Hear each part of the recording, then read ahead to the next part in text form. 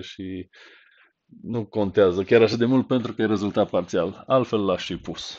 Ok? Deci trebuie să, să puteți justifica, să puteți argumenta alegerea de ce așa, de ce nu altfel. Ok? O să vedem. Georgiana, ce zice aici? Eu cred că nu se poate și vota și afișa rezultate pentru un candidat. Și de aceea parțial... Uh, nu, Georgiana. Uh, într-adevăr, nu se poate și vota pentru un candidat și și afișa uh, deodată. Însă un candidat va avea o mie de, vezi, au, au pe undeva pe la o mie de voturi fiecare. Întâmplător, eu nu reușesc să fac acest prin F înainte ca ăștia să-și facă toate sumele. Asta e de fapt ce se întâmplă. Pentru că tot, fiecare candidat va avea parte de 1000 de lock plus plus unlock. Și eu de aici nu reușesc să intru în față, în fața vreunui plus plus. Nici cum nu, nu reușesc chestia asta. Deși poate că dacă insist, hai să-i mai dau drumul o dată. Figura că eu și fac chestia asta după ce îi trezesc pe ei. Da? Și deja ăștia, tot, toate strădurile sunt acolo gata, pregătite să-și facă plus plusul și cumva mă înving la uh, lupta pentru Mutex. Da, să vedem, poate, poate reușesc. Sunt convins că se poate. Încă știți ce aș putea face? Ca să îți arăt că nu are de-a face cu mutexul. Aș putea face strădul un picuț mai lent. Dacă reușesc... Da, trebuie să înțelegeți că unele lucruri sunt demonstrabile și altele nu. Mă rog, cu un efort rezonabil. În cele două ceasuri pe care le avem, dacă nu mă rulez programul ăsta, până la urmă tot vă arăt. Da, va dura două ore.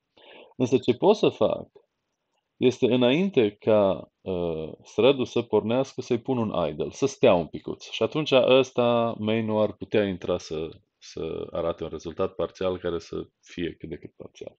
Dar deocamdată sar peste treaba asta, că mai vreau să mai, mai uh, fac o problemă înainte să încheiem, care o să fie un pic ciudățică. Deci încheiem metafora cu votarea, da? Și voi face problema, uh, o să zic, uh, tu. Și asta va fi o problemă așa un pic uh, ciudată și va avea și un comportament de care trebuie să știți și pe care trebuie să-l înțelegeți și să învățați cum să faceți să nu-l pățiți.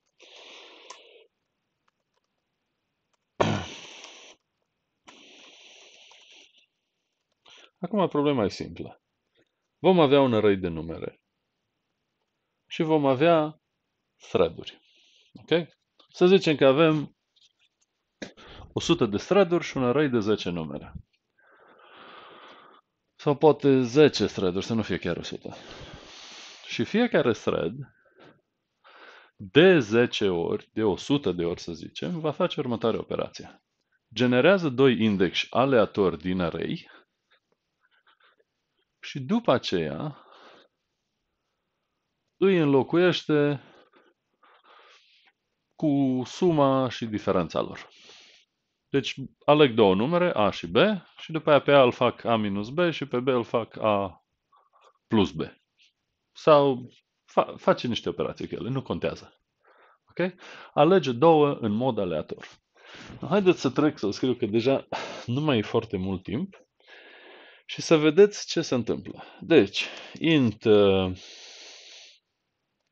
hai să fac înainte să am niște macrouri, că mi-e un pic mai ușor să schimb dimensiunile. Să zicem că avem 10 numere, că va trebui să jonglez cu ele încât să, să vedeți fenomenul de care vorbesc. Asta va fi array A de n poziții, da? Voi avea aici funcția f,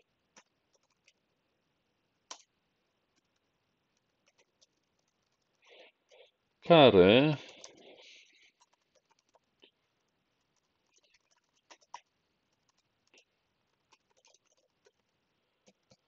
care va cicla să zicem că de 100 de ori. Poate că e mai bine să fac numai de 10 ori, ca să vedeți că nu apare întotdeauna. Asta va face ceva de genul următor. Să punem aici X și Y. Nu-mi place A-ul ăsta. Hai să zicem ăsta ARR atunci. Asta va zice X egal cu rand modulo N. Y egal cu rand modulo N. Da, și după aia va zice ceva de genul A de X este egal cu, hai să mai punem aici o variabilă Z, hai să le facă numai flip, da?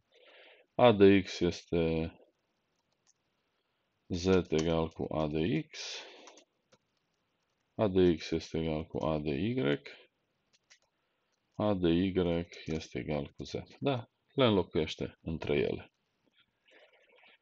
Acum, eu o să mă apuc de scris main-ul, dar voi ar trebui să vă gândiți cum sincronizăm chestia asta. Că vom avea mai multe, feluri, mai multe thread-uri care fac același lucru și vă rog să-mi scrieți cum vreți să, uh, cum vreți să procedăm.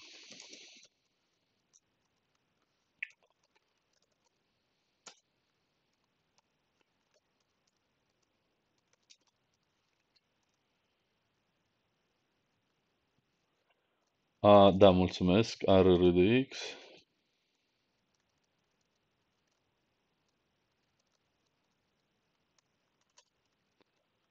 de X. Ok.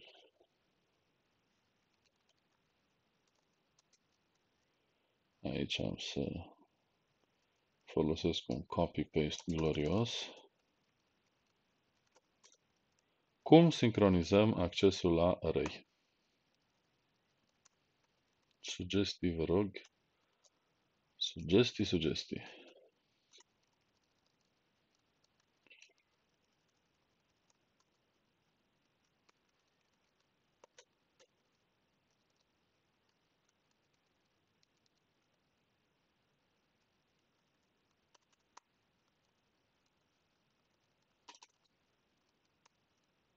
Nu ne mai trebuie camera aici.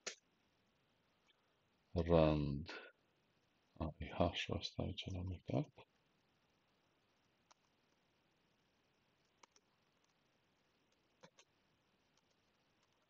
Și pentru rand cred că era să te lib.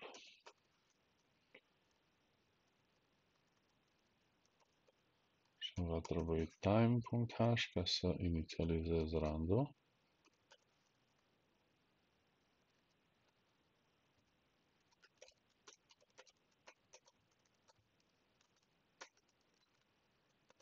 Deci, cum, acum se compilează. Cum sincronizăm accesul la elementele array-ului? Exact ca înainte îți două variante. Sau avem un mutex pe tot array sau avem câte un mutex pentru fiecare element, că nu până la urmă le schimbăm unul câte unul. Și sugerez să facem câte un mutex pentru fiecare uh, element. Sunteți tare tăcuți, vă rog, spuneți-mi dacă e ceva neclar. Dacă folosim un text pentru fiecare căsuță, da, se poate, chiar asta vreau să fac. 10 mutexturi și facem două deodată, Georgiana, asta voi și face, dar citiți ce a scris puzzle pentru că deja uh, e pe urmele probleme care vreau să o creez. Uh, vom ajunge la deadlock, practic. Dar vreau să îl vedeți cât e de ascuns deadlock-ul ăsta. Și cum îl evităm.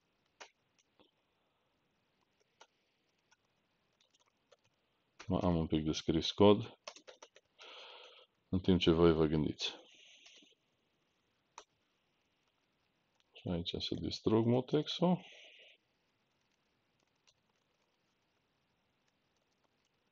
Așa. Să văd dacă îmi compilează. Uh. ce nu bine aici. Mutex init. Mai am un M pe aceea care face altceva?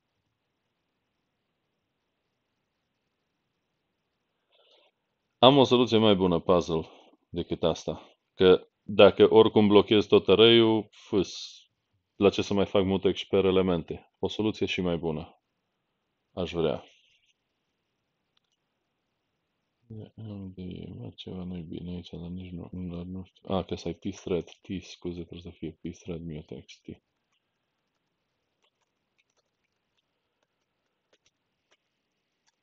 Bun, se compilează. Și atunci, ideea ar fi, după ce ne alegem valorile, să zicem pthread mutex lock de mdx pthread mutex la de mdy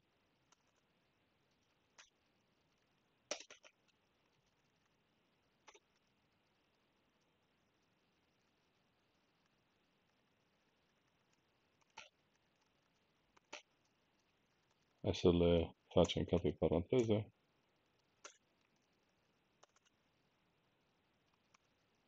Ok? Deci în felul ăsta, noi ne protejăm elementele. Blocăm primul, blocăm pe al doilea, facem swap și le deblocăm. Haideți să-l rulăm și să vedem ce se întâmplă. Și ce se întâmplă este că se blochează. Îl vedeți că nu mai mișcă. Întrebarea este de ce. Și ca să răspund la întrebarea asta,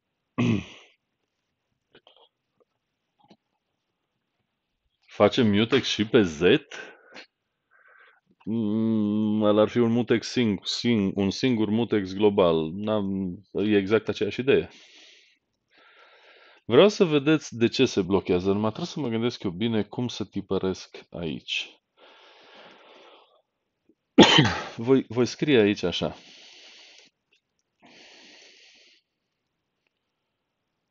Uh,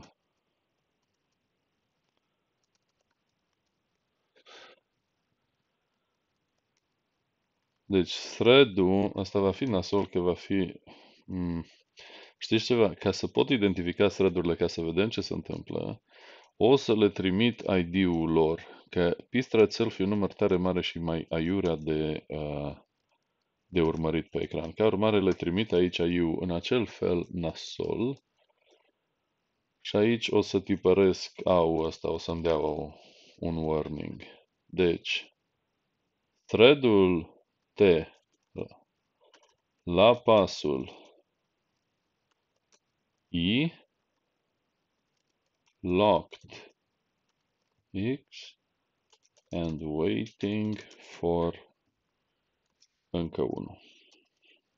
Și acum îi dăm valori. Deci, ăsta va fi aul, deci thread-ul ăsta, la pasul I, l-a blocat pe X, aici nu trebuie să pun X, ci D, și așteaptă după Y. Asta e ce tipărim. Da? Și atunci ar trebui să înțelegeți, da, astea sunt warning-urile la care ne așteptam. No, haideți să-i dăm drumul. Da. Acum am putea folosi un mutex pentru perechile de locuri. Da, ce tu zici să blocheze numai unul odată, să fie un mutex pe care să îl blochez înainte de asta și după asta, corect? Practic să prinzi într-un mutex partea de blocare. Asta zici uh, Hrothdale. Am o soluție și mai bună. Acum, pentru cei care încă nu înțelegeți de ce s-a blocat, haideți să citim. uh, ok, deci aici avem o problemă deja. Ăsta săracul l-a blocat pe patru și încearcă să... Ăsta să blocheze pe el însuși. Uh, hai să schimbăm un pic. Că randul ăsta poate să ne dea același număr uh, while y este x, da? Să, să ne asigurăm că x și y nu se egale, că atunci e evident că încerc să-l reblochez același număr și nu mai are niciun sens.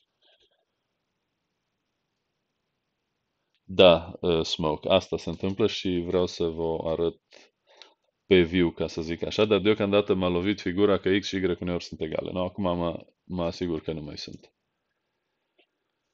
Acum haideți să citim. Undeva trebuie să vedem că cineva a blocat un mutex și așteaptă după altul, care e blocat de altcineva care așteaptă după altul, după același. O să vedem un pic. Uh...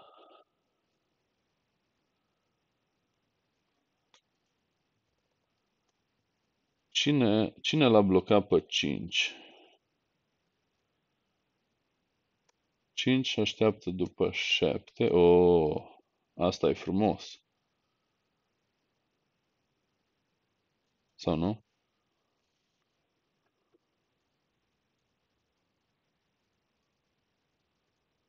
Aici căutăm un cerc. Ok? Și cred că aș vrea să 2, 8, linia 4. Da.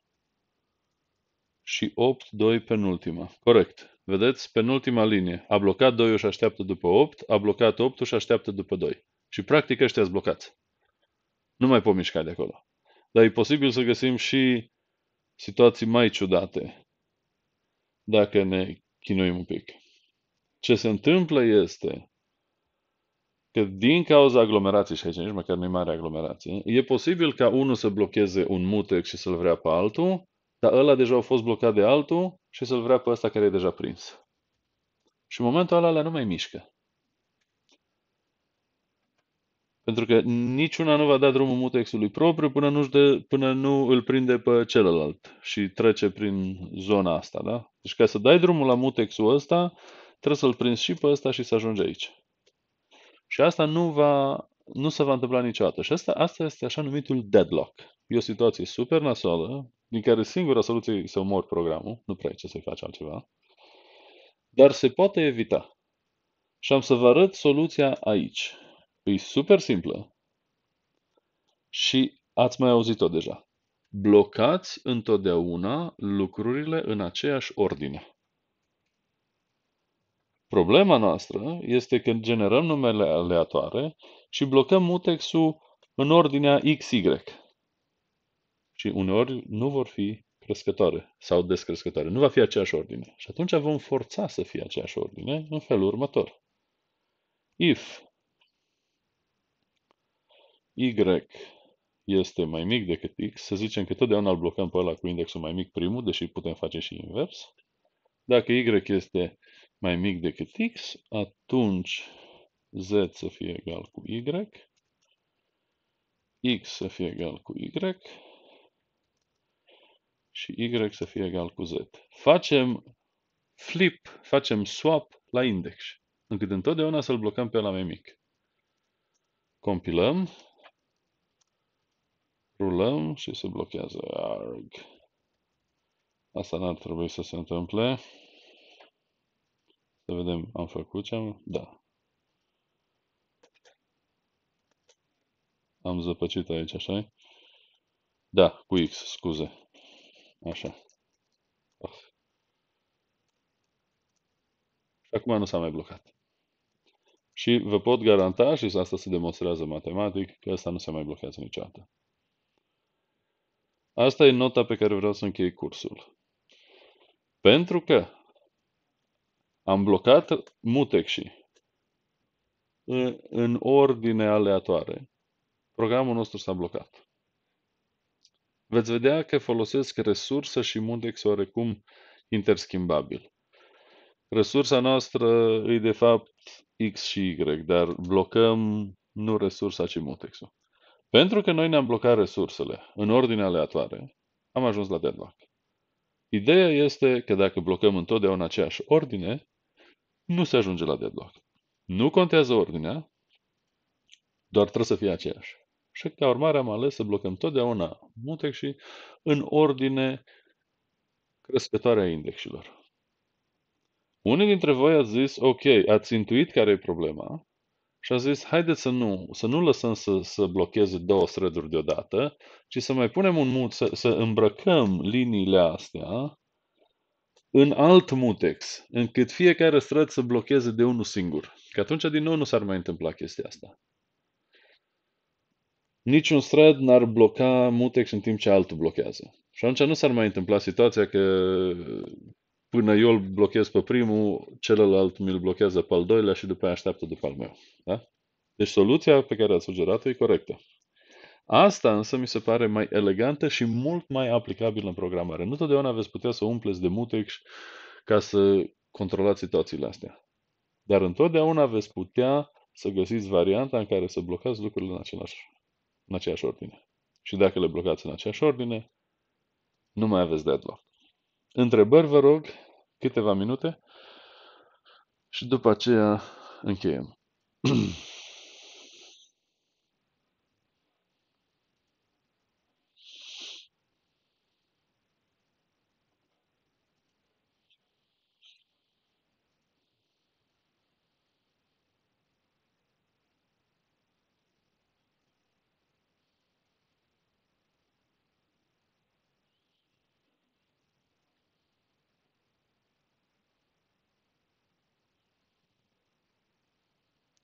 Bun, în cazul ăsta, nemai fiind întrebări, vă doresc o zi frumoasă în continuare, încheiem aici cursul și ne auzim săptămâna viitoare. Nu uitați, săptămâna viitoare avem examenul de Shell, sper că ați trecut de testele de Shell și grep se dau cu succes și că va fi la fel și săptămâna viitoare la examenul parțial de Shell.